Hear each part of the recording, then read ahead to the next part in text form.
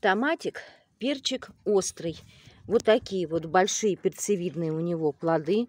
Очень урожайный куст, безумно урожайный. Очень он мне нравится, этот томатик. Он мясистый, очень малосемянный томатик. Вот. Семян фактически вообще на нем нету. Вот такой вот куст, довольно-таки высокий, где-то, наверное, метр 50 в открытом грунте. В теплице вырастает примерно так же. Но в теплице он урожай дает хуже. Вот. Очень довольна я этим томатиком. Перчик с условным названием.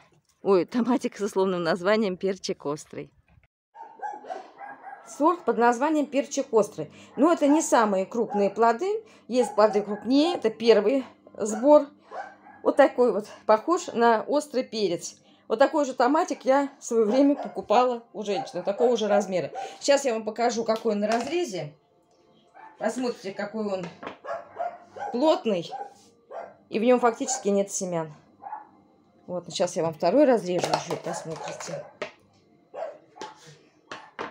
Вот. вот такой вот перчик острый.